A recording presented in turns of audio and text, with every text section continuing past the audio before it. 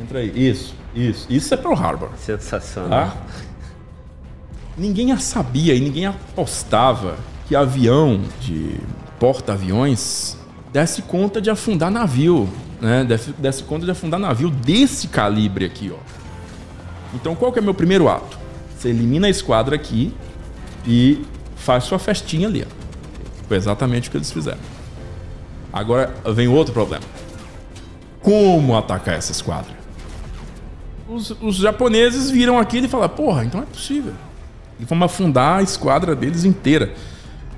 Caiu, uf, penetrou o primeiro convés, o segundo convés, chegou no terceiro, o terceiro no paiol. Esse é um grande ponto nebuloso na história, né? Foi o tipo de gota d'água que a Casa Branca queria para entrar na guerra. Que eles sabiam e que deixaram acontecer. Mas, é, como a gente já estava falando, Glauber, o, o Pearl Harbor foi o choque, foi o evento que unificou aquela guerra sino-japonesa, aquela guerra do Japão com a China, dentro do contexto da Segunda Guerra. Né? Se já existia, e já existia antes, interesse norte-americano né, na China e na, na negação do Japão se tornar a principal potência é, asiática, principal potência militar e econômica da Ásia, isso foi completamente modificado com o ataque a Pearl Harbor. Bom, o que, que leva a isso? O, os Estados Unidos eles tinham imposto em 1940 eles impuseram uma espécie de ultimato ao Japão. Ou você sai da China, desiste das suas conquistas chinesas ou nós vamos te sancionar de uma forma que vai doer bastante em você. Né? É, o que aconteceu foi o seguinte: o, o Japão ele é um país que tem um calcanhar de Aquiles bem ressaltado, que é a pobreza do seu território, pobreza do seu chão, seu, seu subsolo. O Japão não tem nada no subsolo quase, de riqueza. É um solo muito pobre. Inclusive, o solo é tão pobre que agriculturalmente falando, ele não é propício para muita coisa não. Daí também vem a dependência japonesa do arroz em sua dieta. Porque o arroz ele brota em solo fraco, fácil, né? é, mas nada muito que exija um, um, um exija um, um, solo mais rico vai brotar lá. Né? O Japão tem muita montanha também, enfim, não tem muito campo para se plantar, né? É, então é um país que depende de importação de insumos para alimentar a sua própria indústria. E a indústria japonesa, ela se agiganta muito nas primeiras décadas do século XX, né, dado que o, o Japão se industrializou no, no, finalzinho ali da, da era Meiji. Né, é, o imperador Meiji, se não me engano, ele morre em 1912, que é o imperador, durante o reinado dele, é, é restaurado aquele aquela o poder imperial mesmo, né? Que uh, antes do Meiji estava o poder em si estava tava difundido entre os, os, os líderes regionais, né? Os, os shoguns, os daimyos. E o Meiji é o cara que restaura o poder para ele mesmo, né? Eu não gosto de citar assim o, o, último samurai como fonte histórica, não, mas é mais ou menos aquele período que é retratado ali, né? É. Não tinha o Katsumoto, o líder samurai lá, que era o senhor todo poderoso e tal. E aí ele, ele é meio que o último resistente né, dessa nova ordem. E tinha lá o general é, que estava lutando pelo novo exército nacional para unificar todo o poder com o imperador. E para unificar o poder, você tem que acabar com o samurai, né? O imperador, ele retoma o poder. E ele industrializa o Japão para o Japão não ficar dependente de nações europeias. Então, essa indústria cresce muito rápido e o Japão quer se tornar uma potência igual às potências europeias. E isso significa uma coisa: significa copiar o estilo dos europeus de poder. E o estilo da época, para se tornar é, potência, incluía ser uma potência colonialista. Então, o Japão coloniza a Coreia, depois ataca a China, né? tudo isso para obter matéria-prima, para obter solo, para obter riquezas para sua própria indústria e mercado consumidor para sua indústria também. E ela invade a China continental mesmo em 1937, né, provoca uma guerra gigantesca, de um escopo gigantesco que acaba enterrando boa parte do, do, do, exército imperial em campanhas longínquas e infinitas, né? Num território gigante como a China, né? É tão estudado é, a forma como os alemães invadiram a União Soviética e se afundaram na profundidade do território soviético, mas a China foi a mesma coisa, né? É, o exército imperial tomou boa parte do litoral, quase a totalidade do litoral, selou a China do lado externo pelo litoral, porém o interior dele ficou largamente em mãos chinesas e o exército chinês foi recuando para o interior, inclusive mudando a capital para o interior, né, em Chongqing. Saiu de, de Pequim e foi para Chongqing. Então, é, essa guerra acabou se tornando um grande sumidouro de recursos e forças para o exército imperial japonês. Em 1940, os alemães, os alemães não, desculpa, os americanos dão um ultimato para os japoneses, dizem o seguinte para eles: olha, é, ou você saem daí, ou eu vou te sancionar de uma maneira que vai doer muito. Que maneira é essa? Eu vou parar de vender petróleo para você e vou parar de vender scrap metal, né? ferro velho, ferro velho para você. Por quê? O Japão era um grande, grande, grande importador de ferro velho dos Estados Unidos, porque é, eles não tinham uma, uma, uma, uma, fonte de minério de ferro muito boa, então eles pegavam esse material e reciclavam esse material para obter seu aço, seus lingotes de aço, para uso em sua indústria. Então, o, o, Japão parou de receber isso e parou de receber o petróleo e também teve seus ativos nos Estados Unidos congelados. O que, que é os ativos? São as finanças, o dinheiro norte, o dinheiro japonês nos Estados Unidos foi congelado. Com isso, os japoneses viram, perceberam que nessa situação nós não podemos abrir mão da nossa guerra na China. Isso seria uma desgraça, uma vergonha que o imperador nunca pode passar. E por conta disso nós temos que reagir e assegurar nossa fonte de matéria-prima. Então você tem o seguinte, a situação é o seguinte, o Japão nessa época ele passa a considerar duas alternativas, né? A primeira é atacar a Rússia e capturar a Sibéria e se apoderar dos campos de petróleo e gás e os recursos minerais da Sibéria. Tá dando, tá dando para ver ruim, né? Tá, tá bem claro. É, tenta fazer uma troca aí depois. Tá Mas claro. pode, pode falando. É para quem tá no ah, YouTube. Ah, pra quem tá, é. sim, sim, sim. Ou sim. então coloca naquela tela, mano, Walter. Coloca no, no satélite, ô Walter. Vê se, vê se melhora. Melhora? Com certeza. Com certeza. Excelente. Aí, Muito bom. Aí, cara, o que, que vai acontecer é o seguinte: ou ataca a União Soviética lá em cima, ou faz o. Eles tinham um plano de expansão norte e plano de expansão sul. O plano de expansão norte basicamente pressupõe um ataque contra a União Soviética. A questão é, eles, eles entraram em choque com a União, União Soviética em 39, ali na fronteira com a Mongólia. Uhum.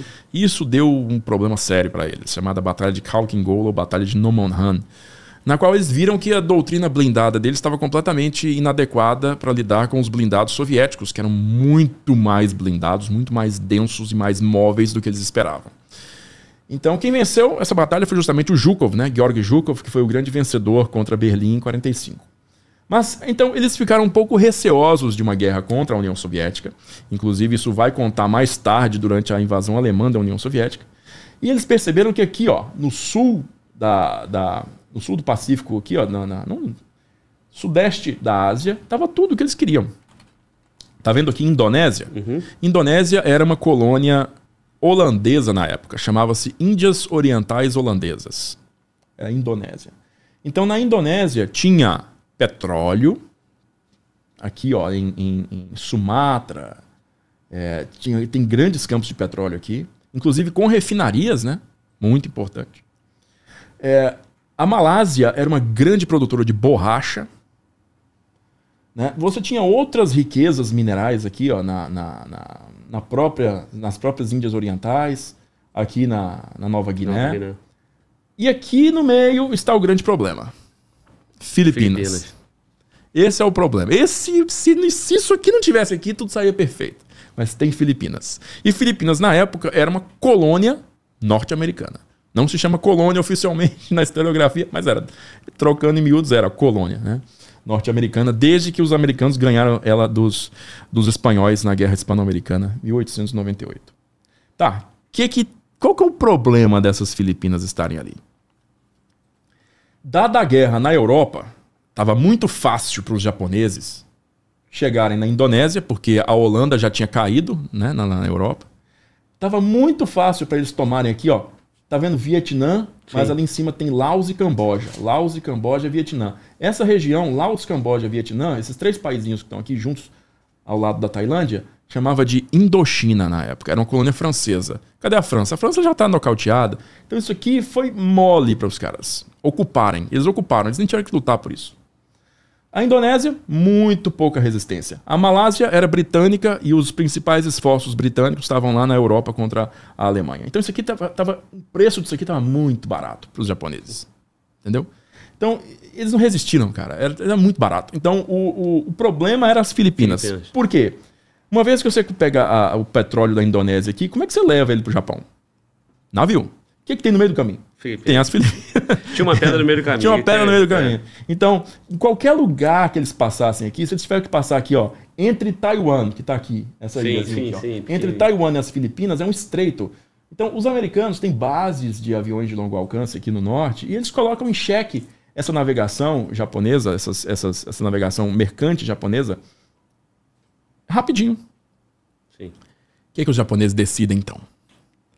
Nós temos que pegar as Filipinas também. Não é isso? Porque não pode ter avião americano me tornando a paciência aqui, não pode. Tá, nós temos que tomar as Filipinas também. Como que nós vamos tomar essas Filipinas se os caras têm uma. Puxa pra cá um pouco. Puxa pra cá um tiquinho. Isso. Aqui o HI aqui, ó. Sim.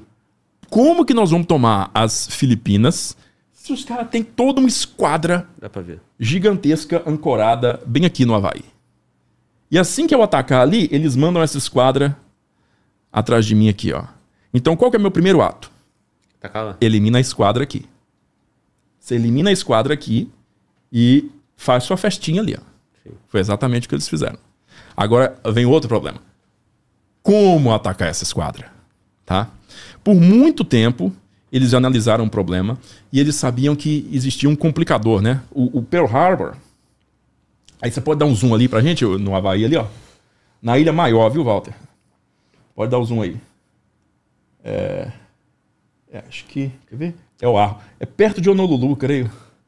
Quer ver? Vai, vai ali, é, é lá mesmo. Ali. Sim. Não é na ilha maior, não. É ali, ó. Perto de Honolulu. Nesse, nessa reentrância aqui debaixo do H. Vai lá. Pode ir. Pode ir. Do lado do H. Pode, vai, vai, vai. Olha a reentrância aí, ó. Vai. Sim. Entra aí. Entra aí, entra aí. Isso, isso. Isso é Pearl Harbor. Sensacional. Tá? Então, então é o seguinte. É, aqui, o problema era. O negócio é muito isolado, tá vendo? É. Tipo, olha onde é que tá o Battleship Missouri Memorial. Vai nessa ilha, chama Ilha Ford. Vai nessa ilha no meio aí, onde tem o, o, Isso, isso aí. Pode, pode abrir. Até hoje é uma base naval. Até hoje você vai ver como é que esses navios estavam.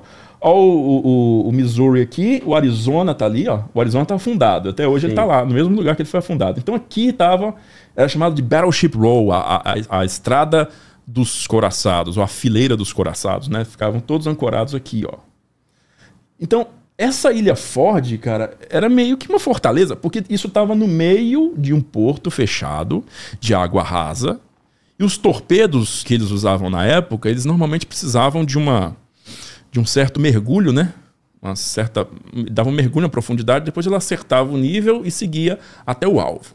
Torpedos lançados é, por aeronaves tinha que dar esse mergulho, blup, depois eles acertavam o nível e perseguiam a, a, a, a belonave, no caso o navio, né? Sim. Tá. É, ninguém sabia e ninguém apostava que avião de, de, de, de, de, de porta-aviões desse conta de afundar navio, né? Desse, desse conta de afundar navio desse calibre aqui, ó. Battleship, tá falando de couraçado, negócio que, é, que tem uma parede de 3 metros assim de, de aço do lado. Quer dizer, é muita, muita blindagem. Tá? Então, é,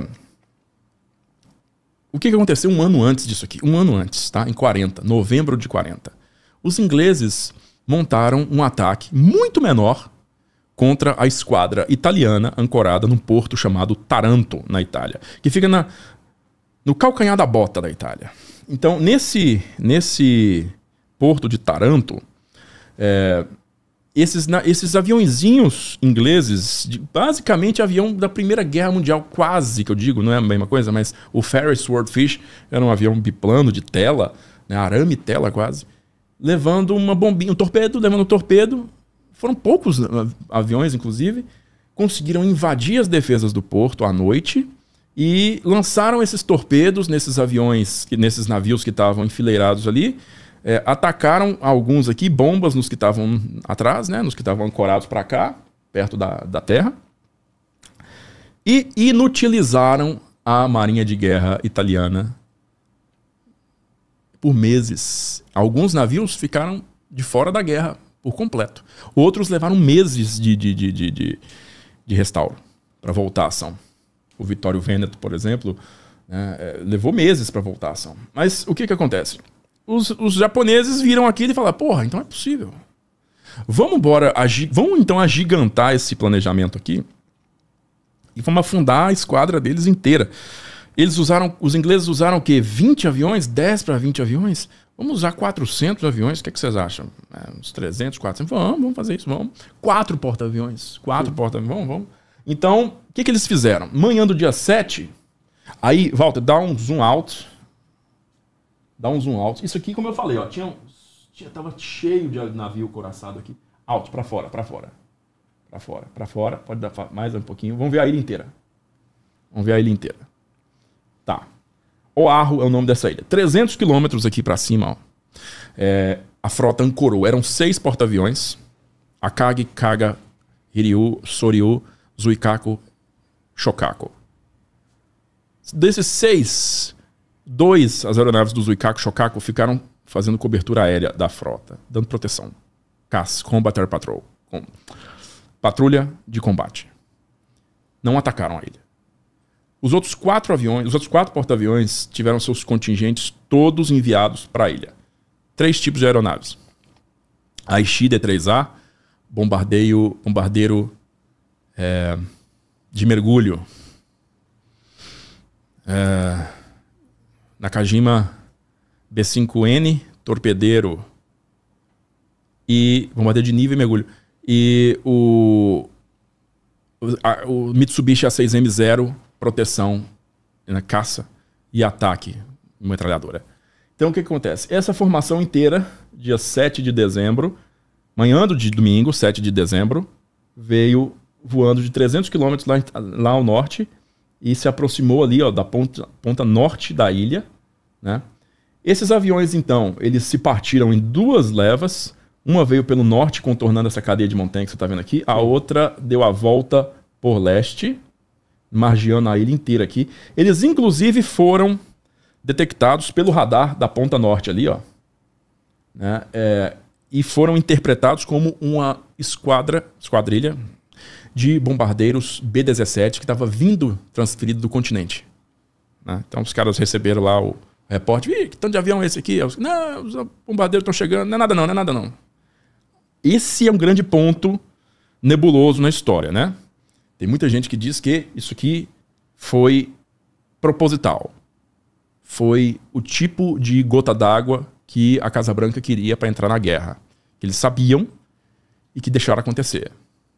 Isso não é tão certo assim, não é tão comprovado assim, não.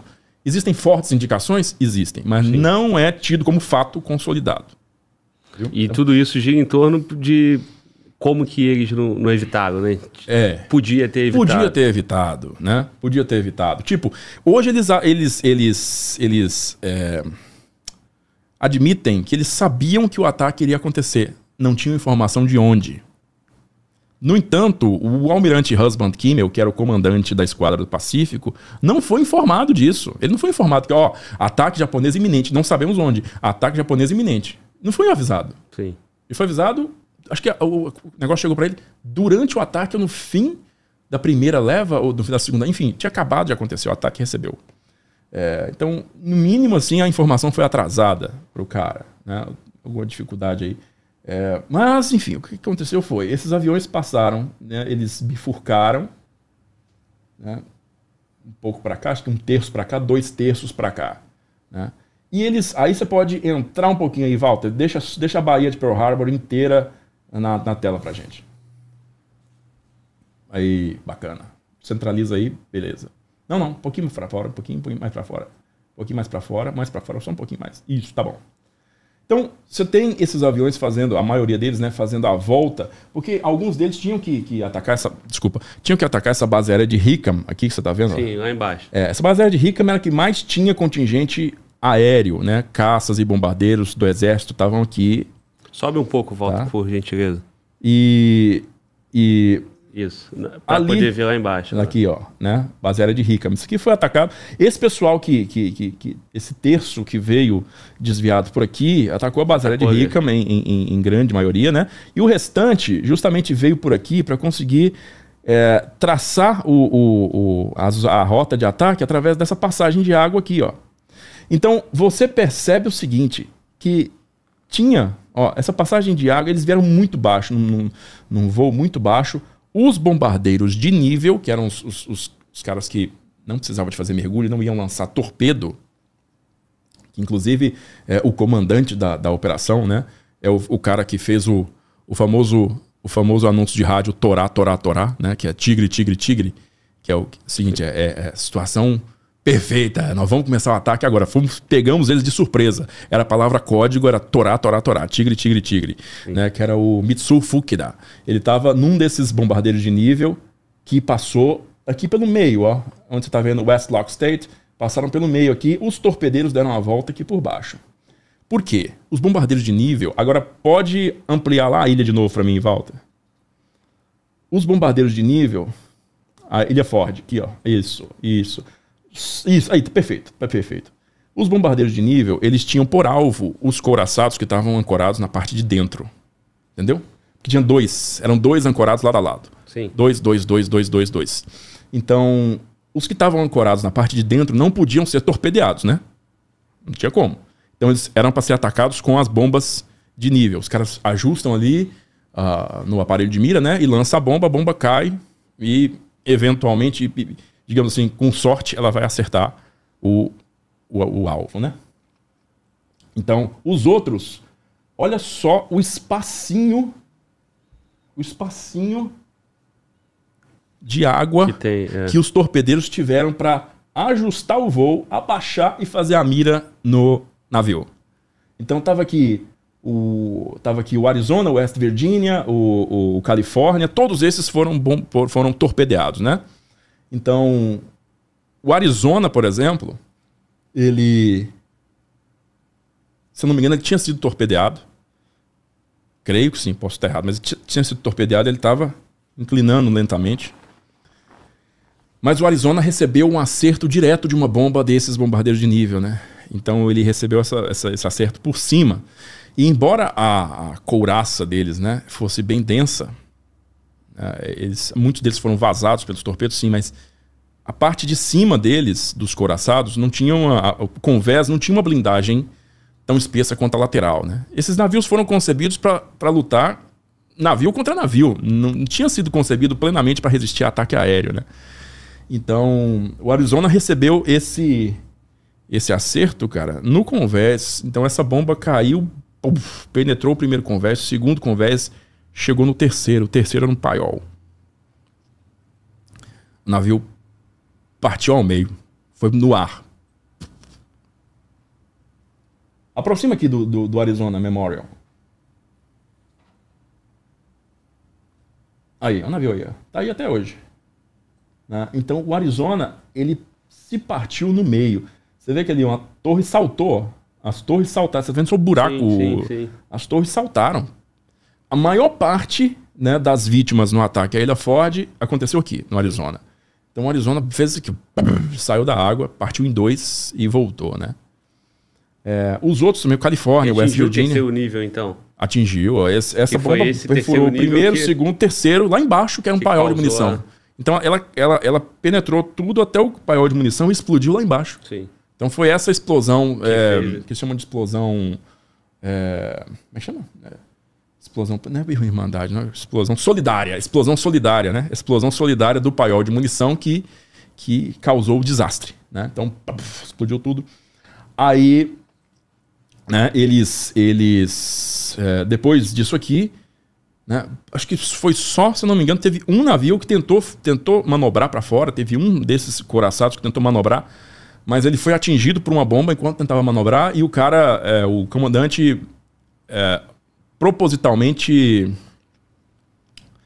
é, colocou ele na areia, né? Tipo, levou o, Como é que é o termo, gente? O termo quando você leva o navio. Não é. Esqueci quando o navio vai pra terra. Qual que é o termo? Qual que é o termo, gente? Meu Deus, meu português tá falhando aqui, Eu, cara. eu, eu, eu tô com medo Ó, de os falar caras merda. cara, cara estão nervosos aí no chat já falando que tem Encalhou. Que é. Encalhou! Meu Deus, ó, obrigado aí, quem quer que seja. Ó, Ainda bem que eu falei, eu, eu ia falar errado. encalhou o navio propositalmente, né? Aí, aí é, a segunda leva, a segunda leva de ataque, que a primeira leva teve essa sucessão aí, a segunda leva de ataque, ela já foi, aí dá o zoom out aí pra gente de novo.